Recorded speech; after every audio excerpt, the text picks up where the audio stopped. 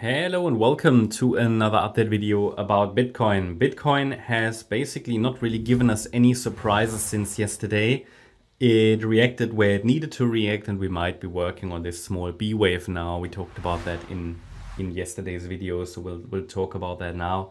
Um, the overall situation on this chart is that we could still be in this wave 4 correction in wave 4, in, wave four um, in the white count. Okay, so we talked about this complex corrective WXY structure before. And yeah, let's talk about short-term bearish and short-term bullish options and scenarios. The short-term bearish scenario on this chart is the white scenario, the white wave count.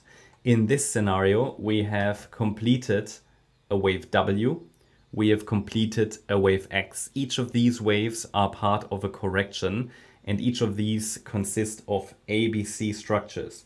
So we've completed those and then we started the Y wave down in which we completed already the A wave element. The B wave might currently be in the process of being completed and then one more low is still likely, okay? And that one more low could send us down here towards 55, 54K. In this scenario, to make it likely or to, let's say, put it clearly in control, we need to see a break below $58,360. That's very important because that's the 78.6 retracement of the rally that started on the 1st of May on the Wednesday. The thing is that this is a structure um, that could play out easily because the downside here, that microstructure was a little bit unclear. This was only a three wave move down. So I cannot clearly say that we've bottomed because it doesn't give me much confidence. You know, had we said, okay, maybe, maybe, you know, we, we already completed like, let me show you that to you. Um, it's possible that we completed WXY here, and then this was an A, B, C, but the C wave was not a five wave move, and the C wave should be a five wave move. So I have that unreliable bottoming structure cannot really rely on it. I think that's the thing, you know, I can't, it is possible that, it, that we've bottomed there, but I cannot rely on it. And because I cannot rely on it, can't confirm it to you and we need just additional evidence. And what that evidence is, well, we talk about that every day in the videos, okay? So that's very important. Um, that means what we need to be watching for now is the support area, the micro support area because in the short-term bullish count, that takes us to the yeah to the more bullish structure, um, which is possible, right? I mean, of course, it's possible that we've bottomed here. There are structures that allow that, like a WXY, and then within the Y wave another WXY. But these are very exotic patterns that, of course, could happen. They could occur, but you know they, they are just not so common. So you can't rely on them. But the thing is, I consider it because we've already dipped into our support zone, trend reversal uh, zone. We want the price to reverse here, right, in this area. So this area hasn't changed for one and a half months, two months nearly. The narrative hasn't changed that this is a correction within an overall bullish structure and that we're simply watching for a reaction in the support zone to basically, yeah, um, to basically say that we've completed this correction. But if the downside structure is sort of incomplete, at least on the micro, then we would need to see a little bit more evidence that we've indeed bottomed, and that would be a so-called 1-2 setup. Before we dive into the microstructure, today at 5 p.m. UTC, we've got um, a public, um, mem uh, not a public member live stream, that doesn't make any sense. No, a public live stream. So feel free to check it out. I posted that earlier and the link uh, on X. So first of all, feel free to follow us on X, but also here you can find the link for later at 5 p.m. UTC. We're going to take a look at different charts, take a look at requests. Um, we do cover, we do collect member requests on Discord, so we'll uh, focus on a lot of them.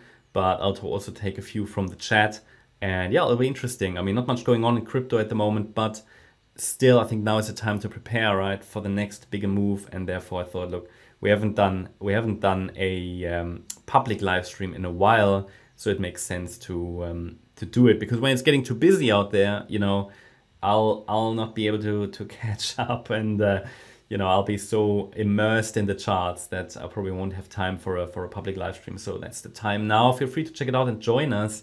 later. Okay, so let's zoom into the detailed structure. Maybe even let's go to the 30 minute chart. Here, this is now interesting because um, as you can see, we have a five wave move up into from, from the May low, from the 1st of May low to the Monday high. So yesterday I mentioned to you that here would be an ideal spot to start a pullback. Okay, that happened. So five waves up is not enough to say that we've really bottomed in this overall correction. Why? Because this move up could be either a C wave of a larger B wave in the white count. Okay. So that's basically um, within the short-term bearish count, and they wouldn't, you know, we want to see also in the C wave a five wave move up. So that's absolutely nothing unusual in any way. Okay. So therefore, that's not enough to confirm that we've bottomed. We need the three wave pullback. We need it to hold a higher low because that would not necessarily fit into the white structure. We want them, we want the bulls ideally to take the price back into the support region, but hold a higher low and then escalate. That's the yellow count. And in that count, we have five waves up. We consider that wave one of the next uptrend. This here could be an ABC pullback. Yesterday we talked about, okay, this is an ideal spot to start uh, a B wave rally or to finish the A wave. Um, did that, okay, started that. And this could now be a B wave rally. Looks very weak, which is great because that's typically what we want to see to get a reliable pattern. Ideally, we would now at some point see a C wave down. At the moment, there is a small reaction to the micro resistance area I communicated earlier today. It's between 64,170 and 64,990. This is only offering some guidance because B waves tend to overshoot resistance areas. So if it goes above, it doesn't even mean it wouldn't be a B wave. It could be. It's just a strong B wave then. Um, but yeah, bottom line is now I'm watching for possibly the let's say I'm on high alert for a C wave down. That's probably how to put it. Can't confirm the C wave has started, but from here um, a move down appears likely, and then we have a nice five up, three down move. And if it finds support here, yeah, great. Um, if we push higher, maybe to around about 66,700, I would see that primarily as an extension of that five wave move that started here on the 1st of May, because we haven't come down deep enough to call that a wave two. So we'd likely just see one more extension. That move down was also not deep enough to rule out that this was just an extended fourth wave, not here, but here. Yeah, and that we are now getting one more extension, but that's not predictable. It would just be one more high. Would maybe go a little higher than a B wave would normally do. So that's sort of what I'm watching for today. Parameters should be clear, support resistances, and it takes a break below 62,930 to confirm that this C wave to the downside has started. That's my update about um, Bitcoin. Hope you liked the update. If you did, please hit the like button, leave a comment, and subscribe. And if you really like the content, then please check out the channel membership.